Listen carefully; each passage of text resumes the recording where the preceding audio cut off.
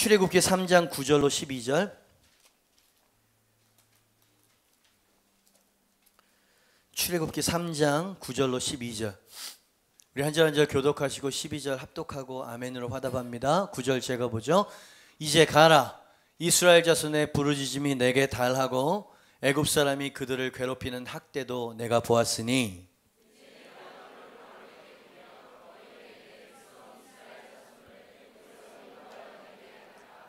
모세가 하나님께 아뢰되 내가 누구이기에 바로에게 가며 이스라엘 자손을 애굽에서 인도하여 내리까?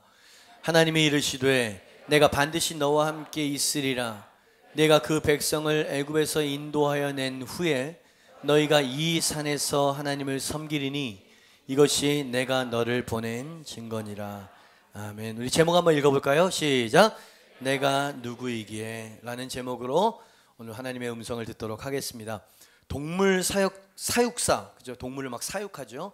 사육사가 새끼 코끼리를 사육하는 방법을 제가 책에서 읽은 적이 있습니다. 새끼 코끼리는 그죠? 뭐 여기저기 막 천방지축으로 돌아다닐 수 없으니까 길을 들여야 된다 이 말이죠. 이 코끼리의 어, 안전을 위해서라도 그죠? 쇠 기둥을 하나 딱 세워놓고 코끼리의 이 새끼 코끼리의 힘으로는 끊을 수 없을 만한 장력을 지닌 사슬로 이제 어, 목을 묶는 거죠. 근데 이 갑갑하거든요. 얘가 이 목에 이 사슬이 걸려져 있는 이 새끼 코끼리가 이것을 한번 끊어보겠다고 여러 번 시도를 하는 거죠. 근데 계산되어진 장력이거든. 이 새끼 코끼리는 그것을 끊을 수 없게끔 그죠? 그 정도 힘을 가지고 이제 묶어 놓은 것입니다. 막 안간힘을 쓰다가 여러 번 해서 안 되게 되어지면 이 새끼 코끼리가 이제 단념을 하게 되어지는 거죠. 야, 내 힘으로는 이 사슬을 끊을 수 없구나.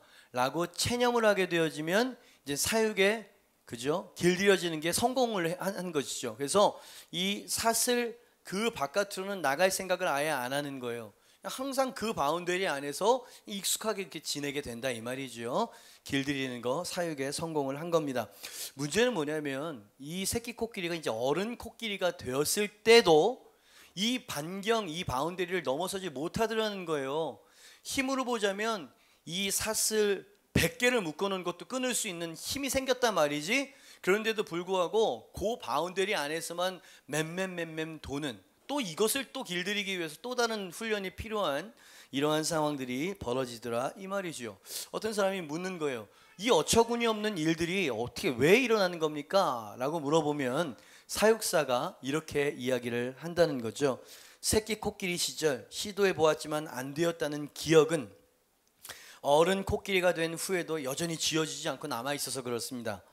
어른이 된 코끼리 마음 속에는 아직도 이 사슬을 끊을 수 없을 것이라고 하는 그릇된 확신이 남아 있기 때문이죠. 자, 어떤 일이 벌어진 겁니까?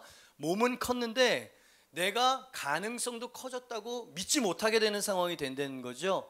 그죠? 그릇된 확신이 들어갔어요. 이 사슬을 나는 끊을 수 없어. 더 깊이 여러분에게 설명드리지 않아도 이 코끼리 예화가 어떤 것을 교훈하는지 눈치 빠른 분들은 캐치를 하셨을 거예요. 여러분 하나님께서 성경을 통해 말씀하시는 것과 우리가 신앙생활에서 경험하는 것은 상당히 괴리감이 있습니다. 성경은 우리에게 뭐라고 이야기하냐면 내게 능력 주시는 자 안에서 내가 그리고 우리가 모든 것을 할 수 있다. 아멘입니까? 그렇게 우리에게 선포를 하는데 과거 그릇된 확신에 사로잡혀서 너무 쉬운 것을 끊지 못한 이 코끼리처럼 보이지 않는 사슬에 우리도 묶여 산다 이 말이야. 묶였다는 것을 어떻게 알 수 있냐면 뭔가 하나님 말씀과 믿음으로 도전을 하네. 늘 삶의 바운더리에서 맴맴맴맴 돌면서 그냥 주일날 예배드리고 월요일부터 토요일까지 정신없이 살다가 아침에 출근 퇴근 출근 퇴근. 뭔가 새로운 것이 보여지지 않고요. 뭔가 하나님의 역사와 능력을 맛보지 못하면서 사는 걸 보니까 우리도 보이지 않는 사슬에 묶여 있는 코끼리와 비슷하게 살아가는 거 아니냐는 거죠. 그리고 이 과거 길들여진 우리를 묶어 있었던 그 사슬은 어떤 것이냐면 과거에 받았던 상처라고 하는 사슬이다. 라고 여러분에게 말씀을 드리고 싶습니다. 예전엔 시도해 봤어요. 여러 번 해봤는데 안 됐단 말이지. 실패를 맛봤기 때문에 그 실패가 내게 길이, 길이 들여져 버린 거예요. 그래서 이걸 해봐야 안 될 거야. 어? 이것은 내게는 불가능한 일이야. 라고 하는 보이지 않는 그릇된 확신이 내 마음속에 몸은 이렇게 컸는데 신앙 연륜은 이렇게 오래됐는데도 불구하고 시도조차 못하더라 이 말이에요. 사실은 시도해 보면 뚫리고 돌파가 될 것임에도 불구하고 그렇게 하지 못하는 이유는 뭐냐면 또 실패할까봐 그 실패에 내가 너무 길이 들여버렸기 때문에 그런 일들이 일어난다 이 말이죠. 이런 현상은요 성도님들의 삶 가운데 굉장히 비일비재하게 나타납니다. 뭔가 무기력해요. 뭔가 돌파가 일어날 것 같지가 않고 시도조차 하지 못하는 현상들이 일어나게 되어지는 거죠. 과거의 상처에 대한 기억 때문에 그래요. 다시 상처받고 싶지 않은 그리고 상처로 포기했었던 그런 상태가 굳어버렸어. 그 시도가 안 되는 것이죠. 여러분, 이런 상태는 굉장히 교묘하고 보이지 않지만 굉장히 위험하고 무섭습니다. 사단이 이런 상태로 우리의 신앙생활을 무기력하게 만들어 버리고요. 기도하지 못하게 만들고요. 그렇게 육적으로 살아가도록 만든다 이 말입니다. 이 과거의 상처라고 하는 사슬은 1. 자신감을 결여시켜 버립니다. 내까지게 뭐 이렇게 생각하게 만든다는 거고요. 자기 자신을 하찮은 존재로 여기게 만들고요. 무엇보다도 자신의 꿈과 비전으로부터 멀리 멀리 도망가도록 만든다 이 말이지. 여러분, 하나님은 여러분을 향한 크고 원대한 계획과 비전을 갖고 계신 줄 믿습니다. 하나님은요, 우리가 잘 되고 풍성하기를 원하시고요. 잘 되기를 원하시는 계획과 목표를 가지고 계신 줄 믿습니다. 근데 여러분 이 사슬에 묶여 있어 버리게 되어지면은요 그게 실감이 안 나. 그리고 남 얘기인 것처럼 들린다 이 말이죠. 그래서 뭔가 삶의 변화가 나타나지 않는다 이 말이에요. 여러분 어떤 이유에서든지 자신의 꿈과 비전 그리고 자기 자신마저 잃어버린 사람을 본 적이 있으십니까? 왕왕 각 아니, 쉽게 찾을 수 있어요. 이런 사람들 입에서는요 이런 얘기가 자주 흘러나옵니다. 저는 그럴 만한 사람이 못 돼요. 뭔가 도전 정신이 보이지 않아요. 믿음이 없어요. 제가 어떤 사람인지 모르셔서 하시는 말씀입니다. 그냥 누가 되지 않는 선에서 잘 따라가겠습니다. 겸손한 이야기인 것처럼 들리죠. 소심한 성격 때문에 흘러나오는 말인 것처럼 들리지만 사실은 과거의 실패와 상처로 인해서 영혼의 감옥에 갇힌 사람의 심령에서 나온 말입니다. 그죠? 제가 이게 신경 써서 쓴 문장이에요. 이 사람은 지금 갇혀 있는 거예요. 실패라고 하는 감옥에, 실패라고 하는 사슬에, 배가 존재하는 목적은 항해하기 위해서 존재하는 건데 그냥 묶여서 정박만 하고 있는 거죠. 이 배가 정말 항해를 하고 미래를 향해서 그저 하나님 예비하신 어떤 축복된 어떤 미지의 삶을 향해서 어? 항해를 하려면 끊어야 되는 거야. 풀어야 되는 거고 안 풀리네 이게. 그게 바로 과거의 실패에 대한 기억, 길들여진 상처 때문에 그렇게 된다라는 이야기죠.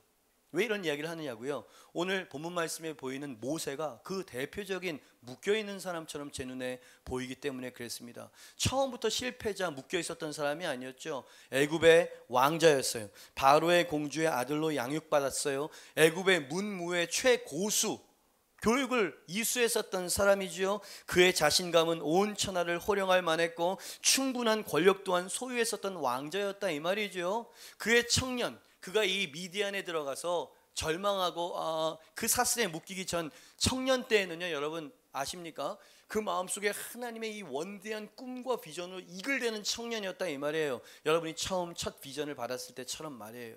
예? 막 타오르는 청년이었음을 보여주는 사람은 히브리서 저자라고 저는 생각을 합니다. 여러분 모세의 출애굽기에는 모세가 쓴 성경이기 때문에 자기 안에 있는 열정과 비전을 표현하진 않았어. 근데 히브리서에서 성령께서 모세의 진심을 담아놨는데 모세 마음 안에는 열정과 비전이 있었습니다. 히브리서 11장 24절 25절이죠. 믿음으로 모세는 장성하여 바로의 공주의 아들이라 칭함받기를 거절하고 도리어 하나님의 백성과 함께 고난받기를 잠시 죄악의 낙을 누리는 것보다 더 좋아했다 그랬습니다. 거절하고 더 좋아하는 것은요, 마지못해 억지로 선택해야만 하는 그런 수동적인 선택이 아닌 거예요. 그죠? 뭔가 자원하여 득과 실을 따져본 후에 그야말로 더 좋은 것을 적극적으로 선택하는 거 이것을 우리는 거절하고 더 좋은 것을 취했다 이렇게 말하는 거거든요. 이렇게 했다는 거예요. 그렇다면 모세가 거절했었던 것은 무엇입니까? 바로의 공주의 아들이라 칭함받기를 거절했다. 즉 이게 무슨 말이냐면 자 바로의 왕자로서의 운명에 반하는 행동을 하지 않는 한 그것만 하지 않으면 운명적으로 얻게 되어질 성공과 번영과 안락함을 누릴 수 있었는데 그 특권을 거절했다는 거예요. 왜? 어떤 비전이 있었기 때문에 더 좋아하는 자기가 더 가치 있다고 생각하는 뭐를 선택하기 위해서 그걸 버렸다는 거예요. 자, 열정이 보입니다. 청년 모세 안에 있는 그 비전 그것은 어떤 것이었을까요? 그죠? 하나님의 백성과 함께 이스라엘 지금 어, 어, 노예 생활하고 있는 동족들이죠. 고난 같이 고난 받기를 잠시 죄악의 낙을 누리는 것보다 더 좋아했기 때문에 버렸다는 거예요.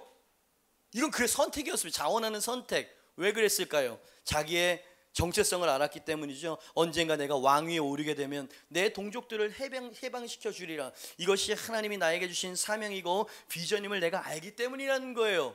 그래서 그 동족들과 함께 고난 받기를 선택했다. 해방시키고자 하는 꿈이 있었던 것이죠. 그죠? 그러다가 그 인생 속에 어떤 큰 실패를 맛보게 되어집니다. 이 큰 비전의 사람이 이제 미디안이라고 하는 타지에 가서 처가살이를 하면서 그것도 그 허드렛 일 목동 일을 하면서 40년을 보내게 되는 동안에 그 40년은 이 모세로 하여금 나고자 무능한 자 허황된 꿈을 꾸다가 과대망상에 빠졌던 철없는 실패자라고 스스로 생각하도록 만들었다 이 말이에요. 자 줄에 지금 묶이고 있는 중입니다. 그죠? 아 그냥 가정은 꾸리면서 살아가요. 먹고 살고 사랑하는 아, 아내와 자녀들도 있어요. 그러나 예전에 그 큰 비전과 큰 꿈은 사라져 버렸어요. 자, 이것도 선택한 인생이었습니다. 그러나 그 인생은 퇴행적인 선택, 퇴보적인 선택이었다 이 말이에요. 그죠? 맨 처음에는 야, 내가 지금 뭐 하고 있는 거냐? 한 1년, 2년, 10년 지난 후에는 아예 그게 내 삶의 패턴이 돼 버렸어. 그죠? 예전처럼 뭔가 하나님을 향한 뭔가 동족들을 향한 나는 그럴 자격이 없는 사람이야. 그죠? 여러분 무엇이 한 비전의 사람을 은둔자요 대인 기피증 환자로 만들어 버렸느냐 이 말이지요. 치유되지 않은 과거의 상처, 묶여 있는 처리되지 않은 상처가 이런 일을 한다 이 말이요. 사람을 아주 무기력하고 소극적으로 만들어 놓는다 이 말이지요. 그리고 이 모세가 느꼈을 법한 이 비참한 느낌이 어떤 것인지 한 번 정도는 맛봤어요. 우리는 그렇기 때문에 모세의 이야기는 모세 이야기가 아니고 우리 자신의 이야기다. 그렇게 우리는 성경을 볼 수 있어야 된다 이 말이지요. 그 boundary 그, 그, 그 사슬의 boundary 안에 컴파스처럼 거기만 왔다 갔다 왔다 갔다 하는 그런 모세의 인생. 그죠? 얼마나 헛헛합니까? 얼마나 비참합니까? 그죠? 그런 모세에게 하나님이 찾아오셨다는 얘기 아닙니까? 그리고 청년 시절 모세 안에 타오르던 그 꿈과 비전, 아, 하나님께서 이게 참 이쁘셨나 봐요. 다시 모세에게 와가지고 그 비전을 주면서 이제 가라 라고 말씀하시는데 떨기나무 가운데 생생히 살아서 지금 말씀하시는 불의 하나님과 대화하고 있는 중이야. 그 하나님의 실제를 봤음에도 불구하고 이 상처로 주저앉은 모세는 좀, 좀처럼 다시 일어서지 못했노라고 성경에서 모세의 마음을 보여주고 있죠. 그리고 모세를 통해서 우리 자신을 투영해서 보여주고 있는 거예요. 여러분 이런 메시지가 한 번의 예배가 여러분들에게 다시 그 청년 때에 불을 일으키고 콜링을 일으키는 뜨거움이 올라올 때가 있어요. 그 뜨거움이 다시 주님 어, 일어나지 않는 상태는 점잖게 그냥 나이스하게 주일 예배를 한번 드리고 가는 것과 같은 그냥 그거의 반복. 그죠? 여러분, 여러분에게 좀 묻고 싶어요. 여러분 그게 조금 고단하고 좀 어, 좀 어? 힘든 여정일지 몰라도 여러분 저는 그걸 그렇게 비유합니다. 하나님의 임재와 능력이 없는 미디안에서의 안정된 삶을 원하십니까? 아니면 조금 힘들고 고난이 있을지언정 하나님의 영광과 불기는 것 기적이 있는 곳에 있기를 원하십니까? 여기에서 여러분들이 어떤 대답을 하느냐에 따라서 하나님의 역사와 여러분 미래는 달라진다 이 말이야. 근데 많은 사람들은 미디안을 원하고요. 미디안에 너무 익숙해져 있다 이 말이지. 그러면서 하나님의 임재와 영광과 축복을 막 구하는데 왠지 그 살아있는 생명력은 잘 느껴지지 않는 혹시 여러분의 이야기는 아닙니까?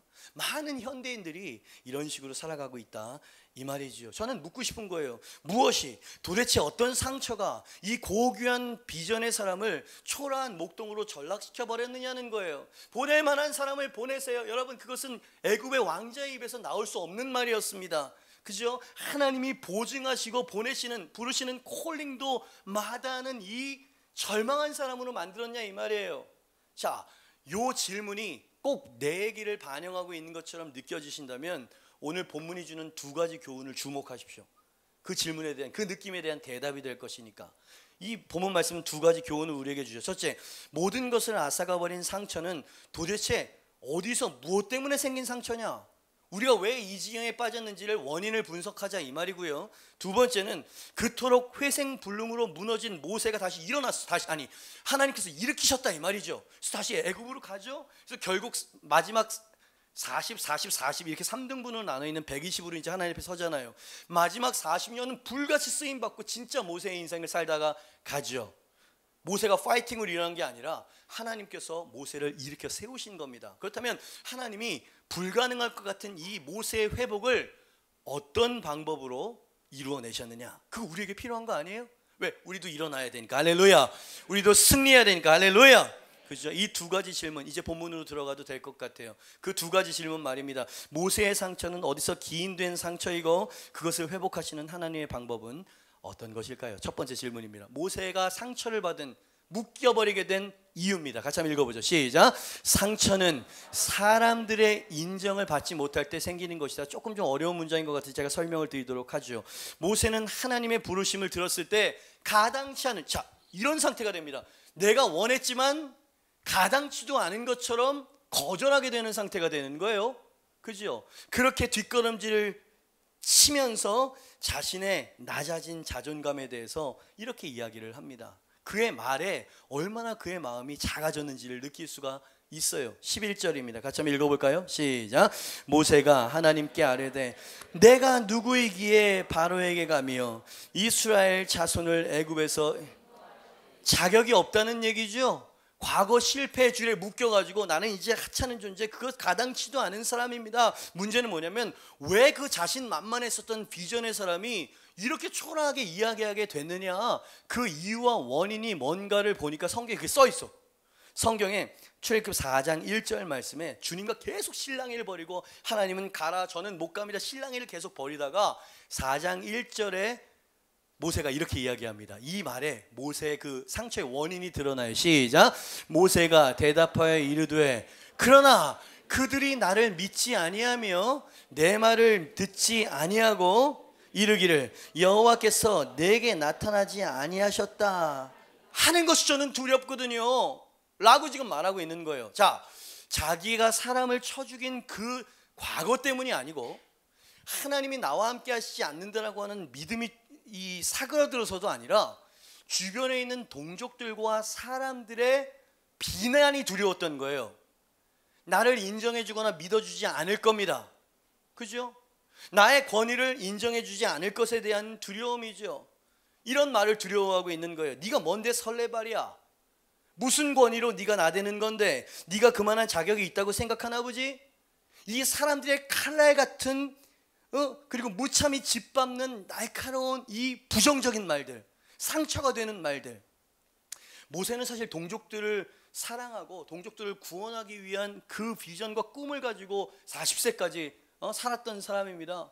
그래서 동족이 고통당한 걸 보고 탁 어떻게 했는데 그 뛰어난 어? 그죠 무술 실력으로 천재 죽어버린 거예요. 그래서 은폐를 해가지고 그 다음날 내가 여러분들을 위해 동족들을 위해서 그랬습니다라고 이야기를 하고 칭찬이나 동지애를 느낄 거라고 생각했는데 누가 너를 우리의 심판관으로 삼았더냐? 그러면서 확 싸늘하게 이야기하는 이 동족들을 바라보면서 뭔가가 빡 깨져버리죠. 그 두려워지기 시작했고요. 떠나갔습니다. 그죠? 40년 동안을 그렇게 목동으로 살아가게 되었던 것이지요. 그렇게 마음이 위축됐고요. 그렇게 그는 뒤로 물러서는 사람이 되었다 이 말이죠. 사람들의 비난, 사람들의 그죠? 배척, 사람들의 인정해 주지 않을 것에 대한 두려움, 차라리 나대느니 조용히 있자. 이런 식이 된다 이 말이죠. 그죠? 여러분, 어찌 우리가 당한 것과 똑같다고 생각되지 않습니까? 헤아리 정말 새 것이 없어요. 우리가 하나님의 비전과 하나님의 더 충만한 자리를 향해서 나가지 못하게 만드는 것이 뭡니까? 사람들의 말, 말 때문이에요. 불신, 비난, 인정받지 못할 것이라고 하는 두려움 때문이죠. 그래서 우리 마음속에 주제 넘음, 자격 미달, 인정받지 못함, 사람들의 부정적인 말들과 비난 이것이 모세를 붙잡았던 코끼리의 사슬이었고요. 우리를 붙잡는 사단의 사슬이라 이 말이에요. 여러분 이런 감정은요 위험합니다.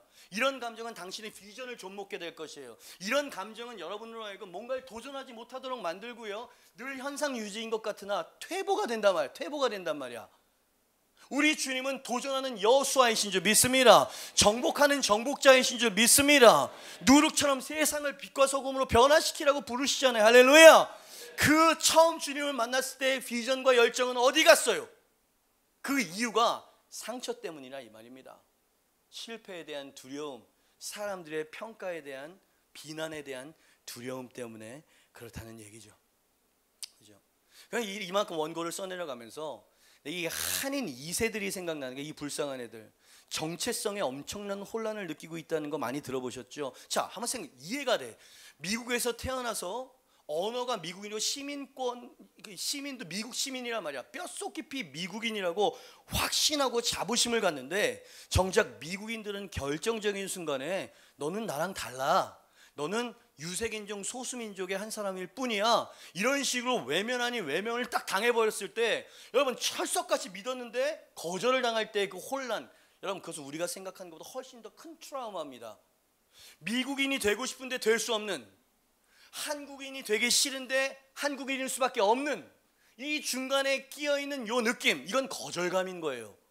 이건 일종의 상처나 말이지. 그래서 얘는 방황하고 위축되어지고 그죠? 인생을 막막 그렇게 어? 무기력하게 살아간다 이 말이죠. 어디서 온 증상입니까? 사람들의 인정받지 못하는 데서 오는 상처들이고요. 더 정확하게 말하면 외면당하고 소외당할 것에 대한 두려움 때문에 오는 상처들이라 이 말이지. 그죠? 이런 비슷한 일들이 막 벌어져. 교회 아 제가 무슨 셀리더예요. 저는 그냥 저 뒤에서 그냥 잘 따라가는 순종하는 성도가 될게요. 겸손인 것 같아 보이는데 보이는데 여러분 그것은 일종의 다가가기 힘들어하는 부담감입니다. 그죠? 무슨 말인지 아시겠죠? 제 경험도 한번 생각이 났어요. 제가 디사이플스 시절 때가 생각났습니다. 그러니까 그때는 제가 좀 잘 나갔죠.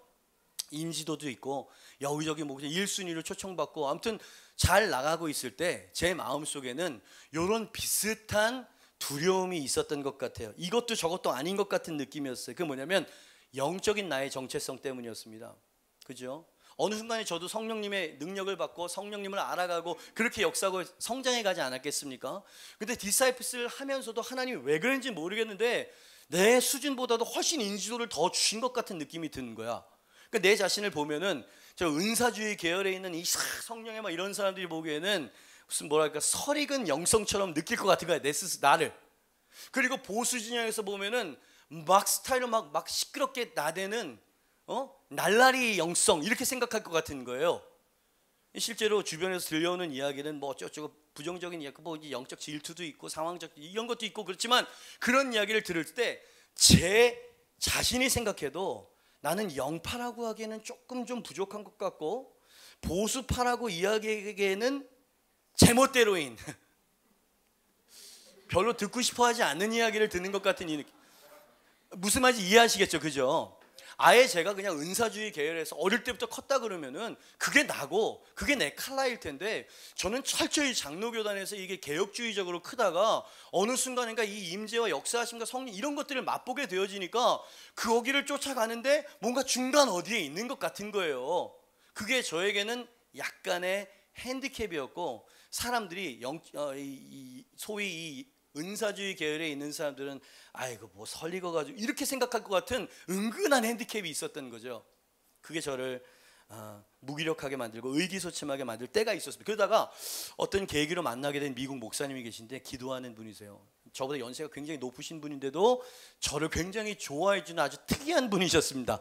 그죠? 젊은 애들만 저를 좀 좋아하는 이 목사님 저를 좋아하신 그분이 이제 한국에 오셔가지고 이런저런 이야기를 하다가 속에 있는 얘기가 이제 나오게 됐어요. 목사님, 저는 제 정체성이 정체성을 잘 모르겠어요. 이도 저도 아닌 것 같은 이 생각이 들 때면 힘이 빠지고 이제 그만하고 싶은 생각이 들 때도 있습니다. 이런 얘기를 했더니 어떤 조언이나 대답을 들려고 한 게 아니었어. 근데 이 목사님이 기도하는 분이거든요. 제 얼굴을 이렇게 빤히 쳐다보는 거예요. 부담스럽게. 왜 이러시지? 이런데 이분이 천 목사님, 목사님을 위해서 기도하는데 한 환상을 보여주시네요. 말씀드려도 되겠습니까? 이렇게 물어보는 거예요. 저는 봤다 들었다 그러면 일단 경계거든. 어? 일단 내가 봐야 되고 내가 들어야 되니까. 근데 기도하는 분이기 때문에 신뢰하고 듣고 싶습니다라고 이야기했더니 이런 말씀을 하세요. 외줄이 하나가 동아줄이 왜 남사당패가 왜 외줄타기 하잖아요. 외줄이 하나 보이는데 어떤 사람의 다리 여자의 다리가 보이는데 왜 여자인지 모르겠어. 여자의 다리가 보이는데 무릎 아래가 보인다는 거야. 근데 이 여자가 높은 하이힐을 신고 그 외줄을 막 타는 게 보인다는 거예요. 난 무슨 말인지 모르겠더라고. 근데 놀라운 건 뭐냐면 이 하이힐을 신고 이, 이 외줄을 자유자재로 왔다 갔다 하고 막 뛰기도 하고 막 이런다는 거예요. 진짜 이게 무슨 말입니까? 영적으로 이 분별을 하지 못한 제가 무슨 말입니까? 그랬더니 저한테 그래요. 천 목사님, 천 목사님이 이도 저도 아니라고 생각하는 그 은사와 칼라는 하나님이 마치 하이힐을 신고 외주를 타게끔 하는 은사를 주신 것 같이 천 목사님에게 주신 특별한 은사입니다. 이렇게 거꾸로 이야기를 하는 거꾸로 이, 이해가 되십니까? 저는 저를 자랑하는 게 아니에요. 제가 지금 한 게 아니라 그분이 나한테 이야기한 거란 말이에요. 빡 성찰이 오는 겁니다. 그리고 생각을 해보니까 저는 아주 묘한 칼라의 아, 입만이 하면 또 자랑이고 또 교만 묘한 칼라인 거예요. 이 가피플의 조한상 사장님이라고 있는데 이웹 뭐이 쇼핑몰 이거 사장이세요. 근데 그분이 저한테 그래요. 저는 천 목사님이 좋다는 거예요. 왜요? 그랬더니 천 목사님은 대단히 모던하고 현대적인 이미지가 있는데 목사님 안에서는 순교자적인 영성이 이렇게 나온다는 거야. 아주 어울리지 않는 두 개가 이상하게 이렇게 섞여 있다는 거예요. 기분 좋더라고. 여러분, 미션 스쿨은 전 세계에서 가장 설교하거나 예배 인도하기 어려운 곳이 미션 스쿨입니다. 근데 저는 가가지고요, 요 하이힐을 신고 막 이제 외주를 타잖아. 그죠? 거기에 막 은사주의자 가가지고 막 이런 식으로 하면 소통이 안 되는 거예요. 이 영적으로 죽어 있는. 그죠? 결국은 자랑이네요. 그죠? 제가 말하고 싶은 건 뭐냐면 제 스스로도 제 생각과 주변에서 생각할 거라고 하는 제 생각과 판단으로 줄에 묶여 있었던 거라는 얘기를 하는 거예요. 근데 이 줄을 주님의 그 환상과 주님이 나를 어떻게 바라보신다라고 하는 그 하나의 환상으로 이게 뚝 끊어져 버리는 거예요. 그때부터 저는 제 칼날을 아주 자부심을 갖고 있는 사람입니다. 그죠? 그죠? BY도 그런 애 아니에요? 네? 마이크 하나 들고 막 랩을 하고 막 그 힙합을 하는데도 그 안에서 영성이 느껴지고요. 대한민국을 막 흔들고요. 그리고 걔가 뭐 영향을 많이 받았대나 뭐한테나 뭐 이런 얘기도 해 하고. 우리 자신이 그런 사람들이라 이 말입니다. 우리는 사람들과 사람들의 배척이 두려운 거예요. 여러분, 사람을 두려워하지 않길 주님의 축복합니다. 사람의 평가에 너무 마음을 뺏기지 마세요, 여러분. 하나님이 나를 어떻게 보시는가가 중요한 거 아닙니까? 나는 외줄 타게요. 할렐루야. 앞으로도 그렇게 살 거고요. 아멘. 제가 60살 먹어서 청바지 입어도 뭐라 그러지 마세요. 주님께서 제게 주신 칼라고 제 은사니까. 그죠? 그때 나는 회복될 수 있었어요. 자, 이제 첫 번째 정리를 하고요. 두 번째 이제 이야기를 하려고 넘어가려고 합니다. 자, 주저하고 망설이는 우리가 주저하고 망설이는 이유는 과거의 상처에 사슬에 묶여 있기 때문이라고 이야기했고요. 그 두려움과 상처는 어디에서 온 거냐면 사람들의 부정적인 말들과 인정해 주지 않는 그런 배척의 말들을 너무 많이 들어서 그래요. 자, 그때는 어떻게 해야 되느냐? 하나님의 입장을 봐야 됩니다. 하나님이 나를 어떻게 바라보시는지를 들어야 돼요. 할렐루야. 그래야 세상 사람들 나를 바라보던 나의 눈을 감고 주의 눈으로 나를 바라보기 시작할 때 주님께서는 이렇게 우리를 회복해 가신다 이 말이죠. 2번입니다. 같이 한번 읽어볼까요? 시작. 진정한 정체성을 깨닫게 하시. 자, 환경을 변화시키지 않으세요. 이스라엘을 자유케 하시기 전에 하나님은 자유케 할 한 사람을 자유케 하셔야 된다고 생각하시는 분이세요. 여기 cell leader들 계시죠. cell leader 여러분들이 상처 김연아가 여러분 triple axel 해가지고 기가 막히게 할 수 있는 실력을 가졌다 치지만 그 전날 발목을 삐면 출전을 못해. 그죠? 이와 마찬가지로 우리 안에 있는 많은 묶여 있는 사슬과 상처들이 있다 이 말이야. 이것을 예수 그리스도의 이름으로 끊어야 될 줄 믿습니다. 그래야지 사람들에게 흘러간다 이 말이야. 그들을 살려낼 수 있다 이 말이야. 할렐루야. 그래서요 리더들은요 상처가 없어야 돼. 상처로 간 상처투성이인 사람은 그 세론들과 공동체원들이 다 상처투성이가 된다 이 말이에요. 그죠? 그 상처를 끊어낼 수 있는 건 뭐냐면 자기 정체, 정체성에 대한 깨달음입니다. 하나님 그렇게 역사하세요. 내가 어떤 존재인지를 바라보고 예수 그리스도의 십자가의 보혈의 능력을 의지해서 끊을 거 끊어버리게 되면 치유가 되고 회복될 줄 믿습니다.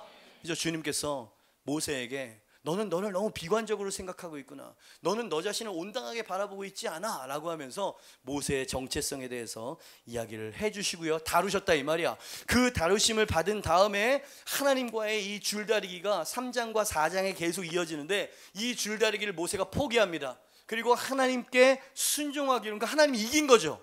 하나님이 설득해 내신 거예요. 그 장면의 마지막 결론의 말씀을 저는 참 좋아합니다. 출애굽기 4장 20절 말씀, 말씀이죠. 같이 한번 읽어볼까요? 자, 모세가 이제 어, 자기 자신을 보기 시작했어요. 시작. 모세가 그의 아내와 아들들을 나귀에 태우고 애굽으로 돌아가는데 애굽이 어떤 곳인데 돌아가요? 그죠? 그 40년 동안 철저하게 나는 실패자라고 생각했던 이 어, 모세가 애굽으로 가겠다고 결정을 합니다. 모세가 고, 고집을 꺾습니다. 두려움을 극복했고 과거를 극복했다는 얘기예요. 사람들의 부정적인 말이나 자기 생각이 아니라 하나님의 말씀과 의견에 동의하기로 결정을 하고요. 나서는 거 보세요. 할렐루야. 요건 뭐냐면 회복됐다는 얘기입니다. 그죠? 그 마음속에 어떤 변화가 일어났다는 거예요. 불이 붙었다는 얘기예요. 자, 그렇다면 좀 더 구체적으로 가봅시다. 하나님이 무엇을 어떻게 하셨길래 모세가 회복되어지고 다시 애굽으로 돌아가기를 결정했었을까요? 무엇이 그를 회복시켰던 것일까요? 라고 구체적으로 묻는다면 소제목 1번 이렇게 대답하고 싶습니다. 같이 읽어볼까요? 시작.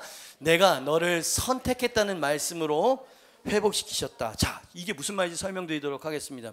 하나님은 두려워하는 모세에게 무엇이 가장 필요한지를 주님은 잘 알고 계셨어요. 그것은 모세의 과거와 실패, 두려움과 쓴뿌리에도 불구하고 잘 들으세요. 너의 연약함과 상처와 네가 그럴 만한 사정과 그런 모든 배경들을 내가 다 이해하고 있다. 네가 정말 어, 어, 어? 혀가 둔한 자고 말을 잘 못하고 두려워하고 있고 모든 비전을 상실한 정 쓰러져 있는 자인 것을 내가 안다. 너의 연약함을 안다. 그럼에도 불구하고 너를 선택한 게 바로 나야. 이 얘기를 지금 하고 있는 겁니다. 모세가 지금 두려워하는 건 뭐냐면 내가 연약하고 부족한 사람이라고 하는 생각 때문에 그렇거든요. 근데 주님께서는 네가 부족해도 부족한 너를 선택한 게 나야. 내가 너를 선택한 이유는 너의 능력 때문에 너를 선택한 거 아니다. 그냥 내가 너를 이스라엘의 리더로 선택한 거고 선택했기 때문에 내가 너를 그런 사람으로 만들어 낼 것이다. 아멘. 네가 해야 되는 건 능력을 쌓는 게 아니라 그저 나를 신뢰하고 순종하기만 된, 하면 된다. 아멘. 여러분 그거 아니면 여수아도 마찬가지 아브라함도 갈 바를 알지 못하고 한 거라고 순종한 것밖에 더 있어요? 자기가 무슨 어떤 신적인 능력을 가져가지고 뭘 이룬 일이 하나도 없다 이 말이죠. 근데 이상한 유교와 불교적인 신앙이 교회 안에 들어왔어요. 지성이면 감천이라고 뭐 열심히 하면 하나님이 감동하셔가지고 축복하실 거라고 하는 생각이죠. 여러분 성경은 하나님의 절대 주권에 대해서 이야기를 합니다. 아브라함이 하나님을 찾은 게 아니고 하나님이 아브라함을 부르셨습니다. 아멘. 모세도 마찬가지야. 모세도 마찬가지야. 그게 바로 선택했다는 거예요. 나의 어떠함과 상관없이 내가 너를 선택했고 내가 너를 그 목표에 도달하도록 내가 만들 것이다. 아멘입니다. 그게 바로 10절 말씀에 하나님이 그냥 지나가는 말인 것 같은데 제게는 지나간 것처럼 들리지 않아요. 모세에게도 지나가는 말처럼 들리지 않았을 거예요. 왜냐하면 모세가 애굽으로 갔으니까. 같이 한번 읽어봅니다. 시작. 이제 내가 너를 바로에게 보내요. 너에게 내 백성 이스라엘 자손을 애굽에서 인도하여 내게 이건 내가 하겠다는 얘기죠. 인도하여 내게 하리라. 누가? 내가. 근데 우리는 주님 저는 부족해서 그 일을 감당 못합니다. 이렇게 말한다 이 말이죠. 이건 겸손이 아니고요. 하나님의 계획과 능력을 의지하지 못하는 불신앙. 이렇게 돼 있다 이 말이에요. 그러니까 여러분 뭔가 승리적인 태도와 승리적인 선포가 필요한 거예요. 나는 할 수 없지만 하나님은 하실 수 있을 줄 믿습니다. 나는 셀리더가 될 만큼 자질이 없지만 그래도 주님의 명령이니까 순종하며 나아가겠습니다. 아멘. 이런 식으로 해야 된다고 이런 식 이게 믿음이에요. 주님께서는 그런 태도를 원하셨던 겁니다. 그죠? 근데 모세는 착각을 했었던 것이에요. 여러분 하나님은 어떤 분이십니까? 로마서 11장 29절에 사도 바울이 하나님에 대해서 그죠? 정이 내린 그 정의를 전 너무 좋아합니다. 같이 한번 읽어볼까요? 시작. 하나님의 은사와 부르심에는 후회하심. 아멘. 하나님이 당신을 구원하시고 하나님이 당신을 사명자로 하나님의 종으로 사용하시는 그 부르심에는 후회함이 없으신 줄 믿습니다. 되물림이 없는 줄 믿습니다. 여러분 하나님이 버리는 게 없어요. 되물리는 게 없다고요. 후회하심이 없도다. 여러분 하나님은 모세를 아셨던 거예요. 여러분 따지고 보면 모세의 출생서부터 하나님의 계획이 아니었습니까? 맞죠? 갈대 상자 그 안에 여러분 그 이 나일강 갈대 상자가 그냥 강물 위에 이렇게 떠게 떠내려가면 열 중에 아홉은 악어의 먹잇감이 되어야 되는 거예요. 그죠? 근데 그게 바로의 공주의 품에 들어가도록 만드신 게 누구야? 하나님이시라 이 말이야. 여러분 딱 봤는데 히브리 노예야 생긴 것도 피부색도 그렇고 그러면 여러분 이 바로 왕이 몇 세 아이 남자를 싹 죽이라고 하는 어명이 떨어졌단 말입니다. 이걸 양자로 얻어 이거는 어명을 어기는 짓. 그럼에도 불구하고 그렇게 할 마음을 누가 주셨어? 하나님이 개입하신 겁니다. 할렐루야.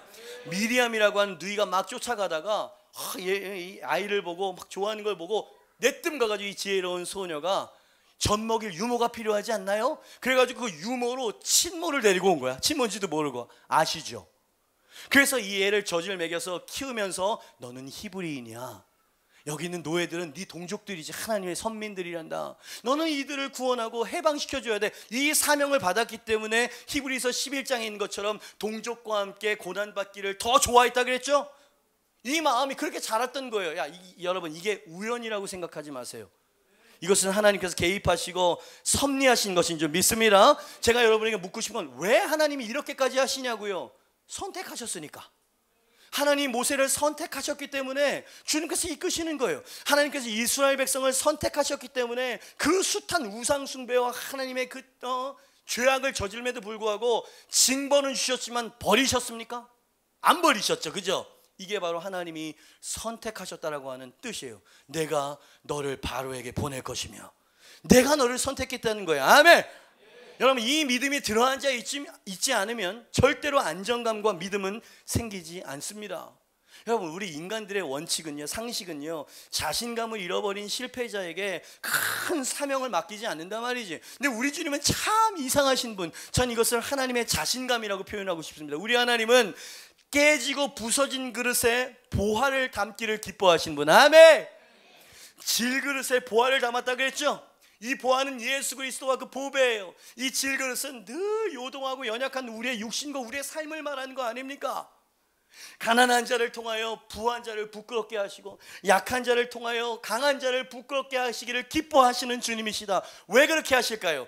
그 아무것도 아닌 그 사람을 통해서 하나님의 일이 드러났을 때 찬양과 감사와 영광은 극대화되기 때문에 아멘.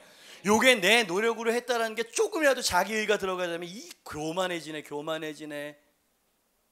그래서 작은 질그릇에 보배를 담는 것을 하나님이 기뻐하신다. 그죠? 선택했기 때문이에요. 내가 너를 선택했어. 주변 사람들이 너를 비난할 수 있는 자격이 없는 자들이 너를 비난하는 걸 듣지 말아라. 이해가 돼 이거? 문장을 고도로 지금 비튼 거예요 지금. 내가 너를 선택했고 그 사도 바울이 그렇게 표현했잖아요. 하나님이 우리를 정죄하시지 않는데 누가 너를 정죄할 수 있겠느냐? 하나님이 나를 의롭게 하셨는데 누가 너를 죄 어? 정죄하면서 죄책감 가운데로 주저앉힐 수 있겠느냐? 환란이나 곤고나 그 어떤 것도 하나님의 사랑에서 너를 끊을 수 없는 존재가 된다는 걸 믿거라. 아멘. 왜? 내가 너를 구원했고, 내가 너의 죄를 용서했고, 내가 너를 선택했기 때문이다. 그죠? 이, 이 하나님의 부르심과 선택을 모세는 그 3장과 4장에서 배우게 됐던 거예요. 와, 나는 자기의, 내 노력으로 살아왔었던 사람이었던가. 그죠? 하나님께서 모세의 실패와 실수도 다 지켜보시. 40년 동안 목동으로 완전 실패하고 어? 그죠? 자기 의와 혈기가 독이 다 빠져버린 텅 빈 모세를 바라보셨을 때 그때 주님께서 모세를 찾아오셔서 부르시잖아요. 그죠? 여러분, 내가 주님 앞에 충만하지 못하고 부족한 것은 오히려 하나님께서 쓰시기 좋은 상태라는 걸 깨달으시길 축복합니다. 그죠? 우리는 그렇게 생각하지 않죠. 아, 저, 제가 뭘요?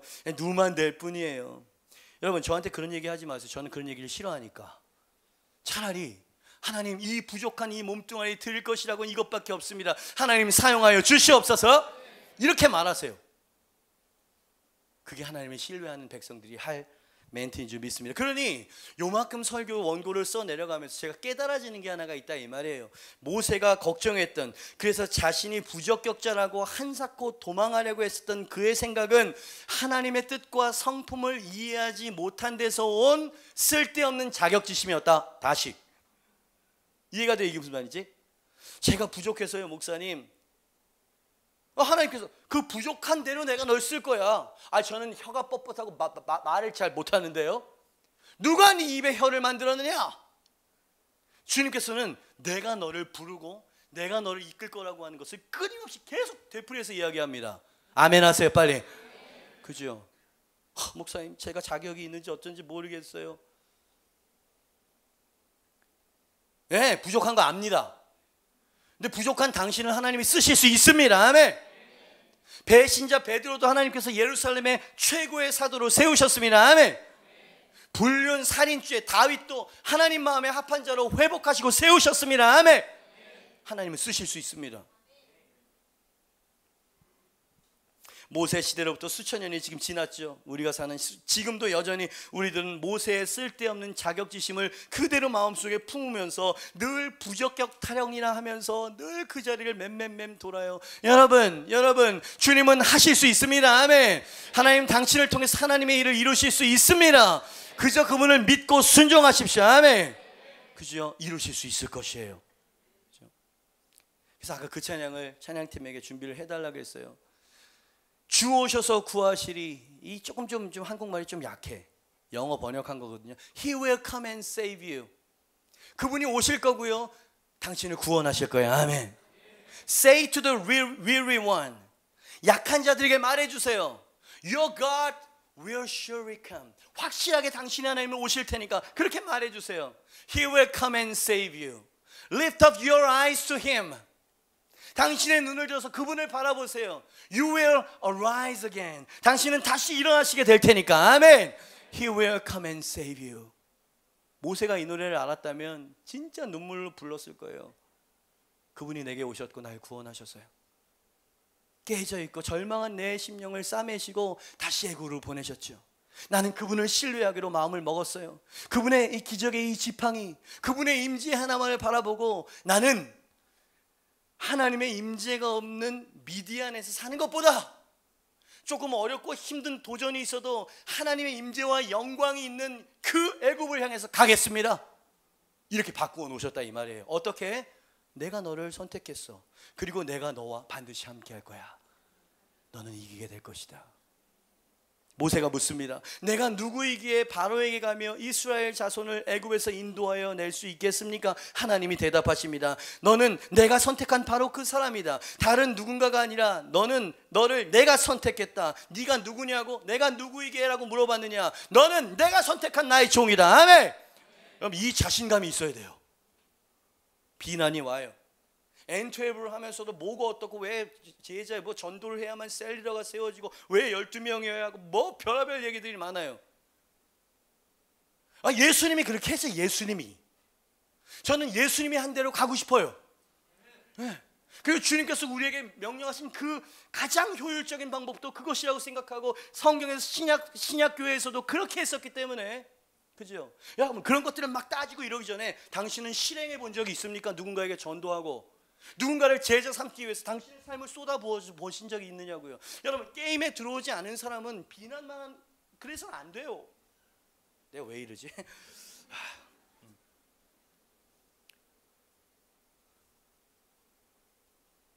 하나님이 여러분을 선택하셨습니다.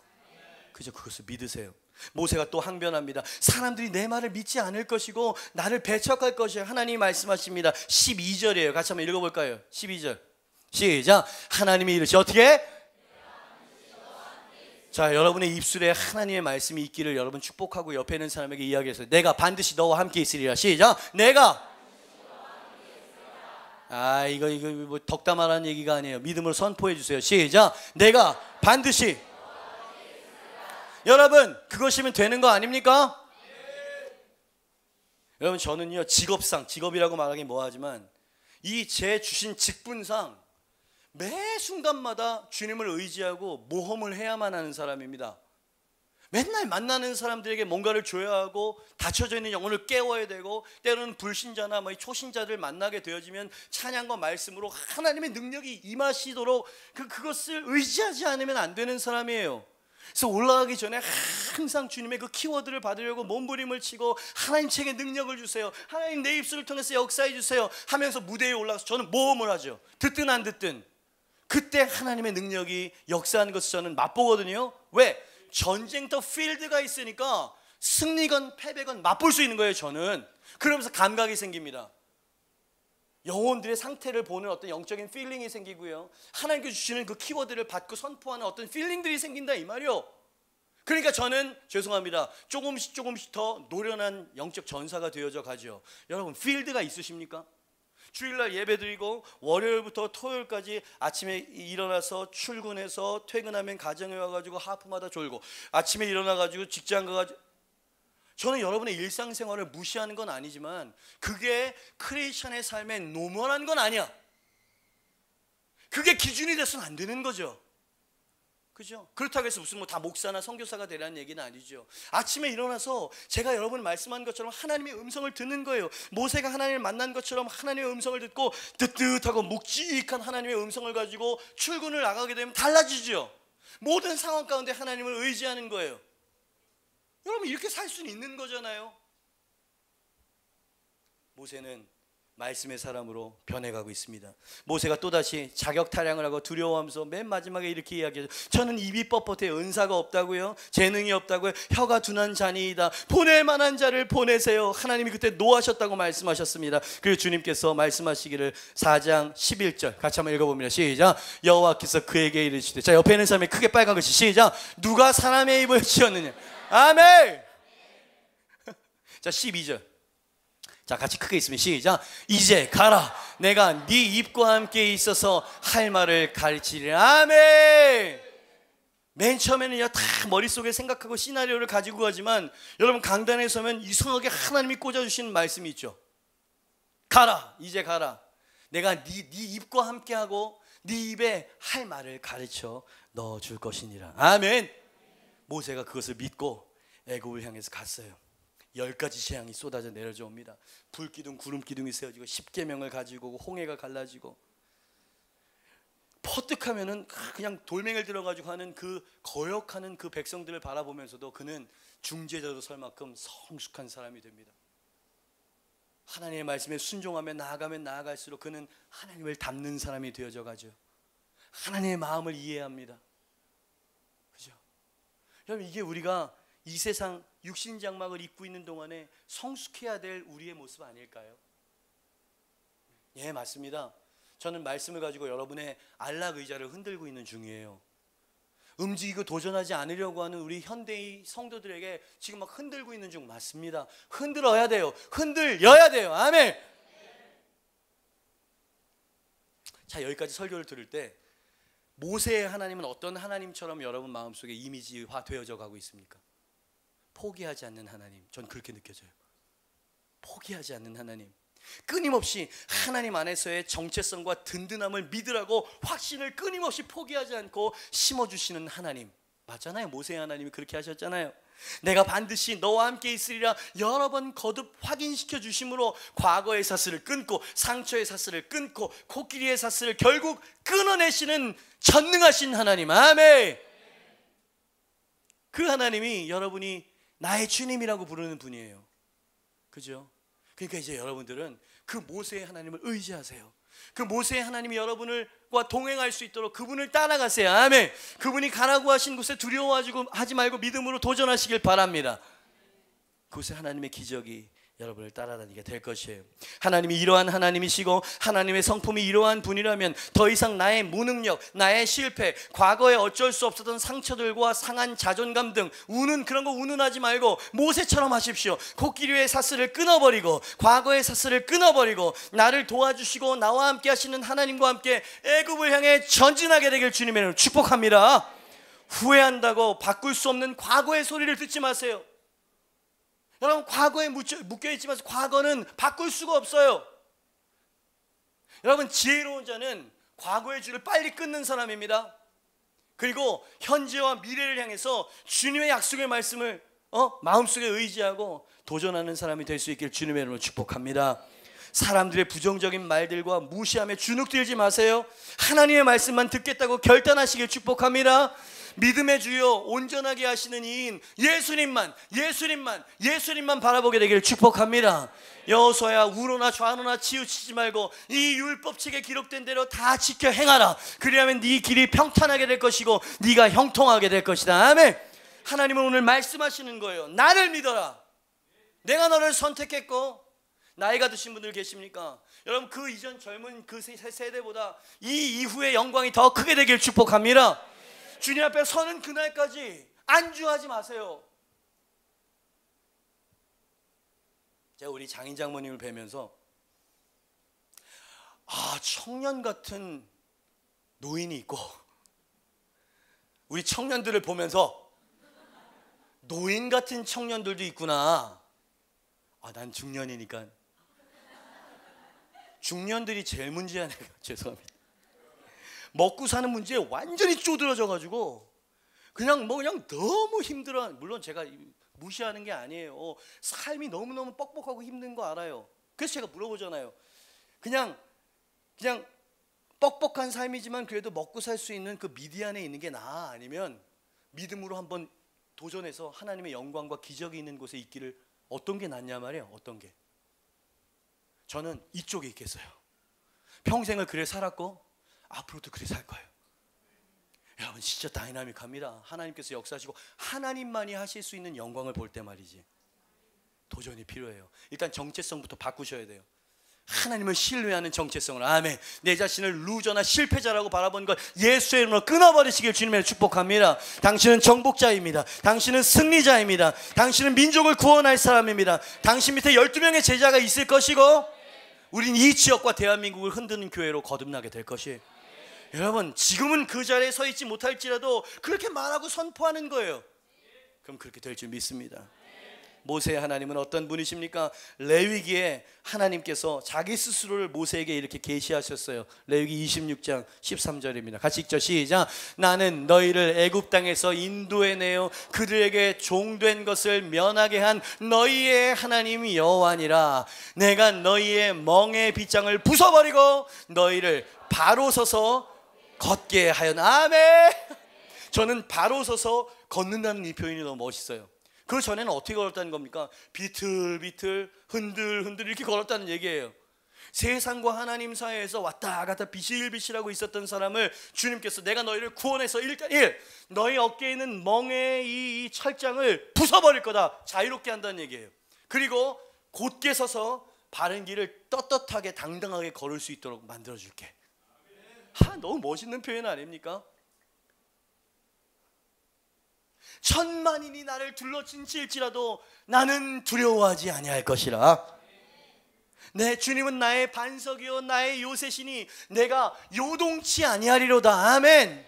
여러분 현대인들은 너무나 요동쳐요. 페이스북 무슨 뭐 뉴스 안에도 요동쳐요. 여러분 저 심연 깊은 곳에는 여러분 요동함이 없어요. 유유유 흐르는 그 강줄기 물줄기가 있을 뿐이죠. 아멘입니다. 하나님은 이 세상을 주관해 나가실 것이에요. 요한 계시록을 읽으세요. 그리고 그분이 마지막으로 어떻게 준비하고 계신지를 보세요. 그리고 소망 가운데 다시 일어나세요. 그리고 다시 싸우는 것이죠. 이사야 41장 14절 15절에 이사야 선지자도 이렇게 격앙된 톤으로 이야기를 합니다. 같이 한번 읽어보죠. 시작. 버러지 같은 너 야곱아, 너희 이스라엘 사람들아 두려워하지 말라. 나 여호와가 말하노니 내가 너를 도울 것이라. 네 구속자는 이스라엘의 거룩한 이인이라. 보라, 내가 너를 이가 날카로운 새 타작기로 삼으리니 네가 산들을 쳐서 부스러기를 만들 것이며 작은 산들을 겨같이 만들 것이라. 아멘. 여러분 모세가 물었어요 오늘 설교 제목처럼. 내가 누구이기에 내가 애굽의 바로에게 가냔 말입니다. 주님께서 대답하십니다. 너는 내가 선택한 나의 종이고 너는 이가 날카로운 새 타작기가 될 것이다. 아멘입니다. 그죠? 우린 그렇게 될 수 있어요. 그죠? 그러니 코끼리의 사슬을 오늘 당장 끊어버리시길 주님의 축복합니다. 과거에 매여 미래를 망쳐버리는 이 누를 이, 이, 이, 이 잘못을 여러분 오늘 끊어버리시길 주님의 축복합니다. 여러분 영상 하나 보도록 할게요. 과거의 줄에 현실의 줄에 너무 묶여 있었던 한 여인이 그것을 어떻게 멋있게 끊고 독수리처럼 창공을 나는지 여러분 이 영상이 여러분에게 도전이 될 수 있기를 바랍니다. 타고난 희귀병으로 인해 이른바 세상에서 가장 못생긴 여자로 손가락질 받던 미국의 한 여성이 그 누구도 해내지 못했던 왕따 방지 법안을 만드는 데 앞장서고 있습니다. 세상의 조롱을 희망으로 반전시킨 리지 벨라스케스의 양의 이 이야기를 김기봉 기자가 보도합니다. 26살 성인이지만 몸무게 26kg에 불과한 리지 벨라스케스. 음식을 먹어도 영양분으로 소화되지 않는 극희귀병으로 뼈만 남은 앙상한 몸에 조로증 피부, 한쪽 눈까지 먼 상태입니다. 태어날 때부터 절망적이었지만 부모는 뜨거운 사랑으로 감싸 안았습니다. I would never talk, I would never walk, I would never crawl. I would literally accomplish nothing in my life. And my parents said, you know what? We're going to take her home, we're going to love her, and we're going to raise her as best as we can. 하지만 세상은 그를 편히 두지 않았습니다. 유튜브에 오른 자신의 영상에는 괴물이다, 불에 타 죽어라 등 입에 담지 못할 악담이 꼬리를 이었습니다. 가는 곳마다 저주의 손가락질이 끊이지 않았습니다. 벼랑 끝에 섰던 리즈는 그러나 자신의 고통을 세상의 희망으로 바꾸리라 결심했습니다. 단지 외모가 다르다는 이유로 학대를 받는 자신의 상황을 인터넷을 통해 적극적으로 알려 잘못된 편견을 고발했습니다. 세상의 양심들은 그녀의 말에 귀 기울였고 엄청난 지지자들이 생겨났습니다. I'm with Lizzie. I'm with Lizzie. I'm with Lizzie. And I'm with Lizzie. I'm Lex, and we're with Lizzie. 테드 연설과 영화 주인공까지 됐지만 리지의 행진은 여기서 멈추지 않았습니다. 모든 형태의 왕따를 금지하는 법안 통과를 촉구하기 위해 스스로 의회를 찾았습니다. 물론 수많은 지지자들은 함성으로 그를 후원했습니다. new friends of mine want to share with you.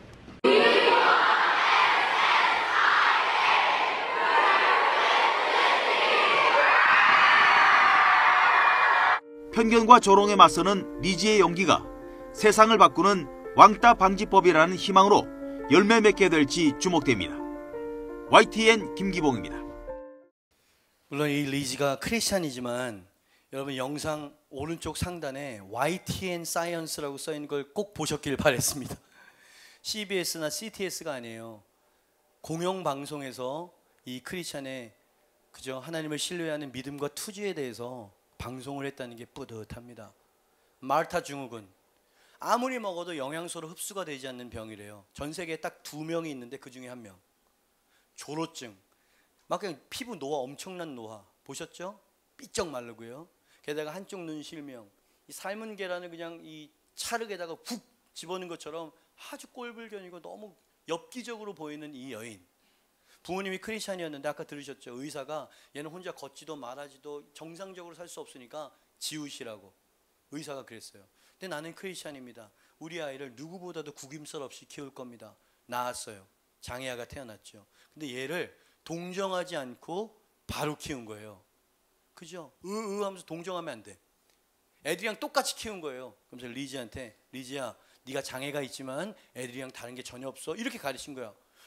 뭐 이렇게 했는데 유치원인가 초등학교에 처음 들어가면서 애들이 자기를 슬금슬금 피하고 막 괴물 보듯이 하는 거예요. 얘가 이제 처음으로 처음으로 세상과 자기가 다르다는 걸 이제 느끼게 됐다는 거예요. 몰랐어 그 전에는 너무 부모님이 너무 바르게 키워가지고 엄마 왜 애들이 나를 미워하는 거야 이유 없이 리지야 날 봐 똑바로 봐. 너가 애들보다 왜소한 어, 몸이 왜소한 거 말고는 애들이랑 다를 바가 전혀 없어.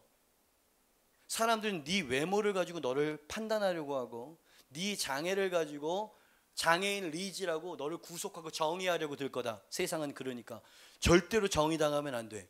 네가 네 자신을 정의하고 판단 내릴 수 있는 근거는 두 가지야. 하나님이 너를 향한 계획과 약속 그리고 네가 성취한 어떤 것으로 네가 평가받아야지. 네가 태어나고 네 어떤 어, 어쩔 수 없이 타고난 것 때문에 네가 평가받으면 안 되는 거야. 알겠니? 이건 절대 잊으면 안 돼. 이렇게 가르친 거예요. 제가 우울증이 오고 막 정신적인 어려움이 있었지만 꿋꿋이 지내다가 고등학교 때 어떤 나쁜 놈이 8초짜리 영상을 찍었어요. 제목은 어? The World's Ugliest Woman. 세계에서 전 세계에서 제일 못생긴 여자 8초짜리 수백만 명이 봤습니다. 댓글 야, 네 머리에 방아쇠 당기고 그냥 방아쇠 당겨. 그렇게 살 바에 하는 어? 불에 타 죽어라. 악성 댓글이 10대 소녀였다는 걸 꼭 강조하고 싶습니다. 자살을 기도를 자살 생각을 여러 번 했어요. 근데 그 한 문장 때문에요. 오늘 설교의 주제와도 같죠. What defines you? 무엇이 당신을 정의하도록 만들고 계십니까? Who defines you? 누가 당신을 정의하도록 만들고 있나요? 돈? 외모? 당신의 실패가 당신을 정의하게 만들고 있나요? 이혼에 따라간 그 어? 꼬리표가 당신을 정의하도록 내버려 두실 건가요? 여러분 그 과거에 묶여 있고 그 정의 세상이 정의에 묶여 있게 되면 당신은 한 발짝도 나갈 수 없어요. 이 얘기입니다 지금. 그래서 이 애굽 그 두렵고 가기 싫었던 그 애굽 그 애굽이 뭡니까? 유튜브죠. 유튜브 때문에 자기가 무너졌으니까 유튜브에 자기가 스스로 나갔어요. I'm lazy. 당신은 나를 내 스토리를 알지도 모릅니다. 제 병은 이렇고 어쩌고 하면서 그러나 저는 믿습니다.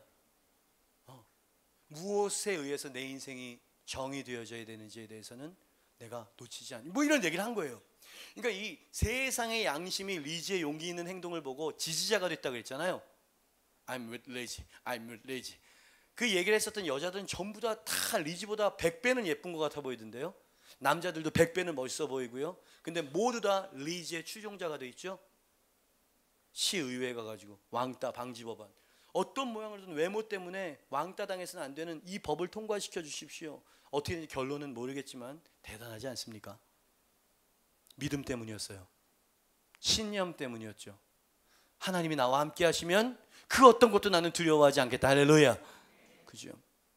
하나님은 나를 향한 놀라운 계획을 갖고 계시고 내가 장애를 갖고 있어도 하나님은 나와 함께 하시며 놀라운 하나님의 목적을 이루어 내실 것이다. 여러분에게 리지가 던진 그 질문을 던지고 싶어요. What defines you?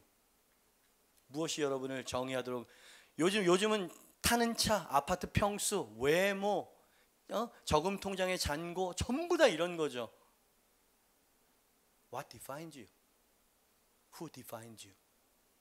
저는 하나님의 약속의 말씀이 저를 정의하도록 그렇게 허락할 것입니다. 그리고 하나님의 약속의 말씀을 쫓아서 믿음으로 도전하기를 멈추지 않을 것이에요. 여러분들도 그렇게 할 수 있게 되길 주님의 이름으로 축복합니다. 당신은 기적의 사람이 될 것이고요. 동족들을 구원해내는 사람이 될 것입니다. 당신은 많은 영혼들의 영적 아비 어미가 될 것이고요. 그들의 삶을 주님께로 이끄는 진정한 리더가 될 것이에요. 아멘. 모두 자리에서 일어나시죠. 여호와가 말하노니 내가 너를 도울 것이라. 아멘. 네 구속자는 이스라엘의 거룩한 이인이라. 보라, 내가 너를 이가 날카로운 새 타작기로 삼으리니. 네가 산들을 쳐서 부스러기를 만들 것이며 작은 산들을 겨같이 만들 것이라. 아멘. 여러분 주님이 하시면 될 줄 믿습니다. 사막에 강을 내실 수 있는 분임을 믿습니다. 여러분 하나님은 불가능이 없는 분임을 입증해 보여 줍시다. 아멘.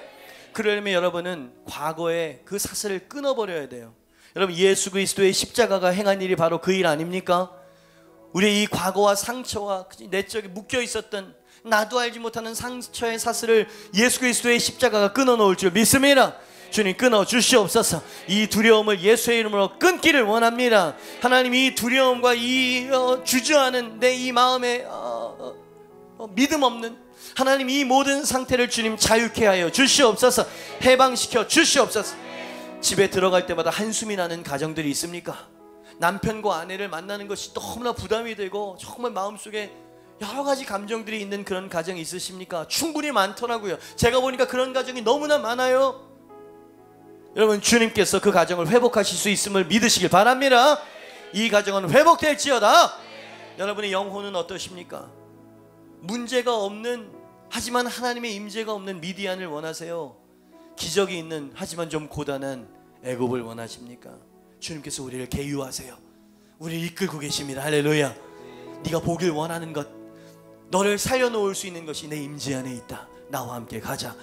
내 얼굴을 구하고 믿음으로 첫 발을 떼거라. 할렐루야. 이 시간에 주님 앞에 두 가지를 섞어서 기도해 하나님 내 안에 있는 이 과거의 사슬을 예수 그리스도의 이름으로 끊어내기를 원합니다. 그리고 주님 나를 향한 하나님의 목적과 계획을 완수하여 주시고 성취하여 주시옵소서. 나이와 상관없어요. 재능과 상관없어요. 하나님이 당신을 선택하셨습니다. I choose you. 내가 너를 선택했다. 아멘. He will come and save you. 음, 이 시간에 두 손을 높이 들고요. 절망한 내 영혼에게 말해주세요. 내 영혼아 일어날지어다. 내 영혼아 깨어날지어다. 하나님의 말씀을 붙잡고 다시 도전할지어다. 우리 시간에 주여 한번 크게 외치고 통성으로 기도합니다. 주여! 할렐루야 주님 감사합니다. 사랑하는 주님 우리 우리 백성들 하나님 당신의 이 권속들을 위해서 기도합니다. 아버지 하나님이요 하나님 어떻게 하면 우리가 이 과거의 줄 상처의 줄을 끊을 수 있겠습니까?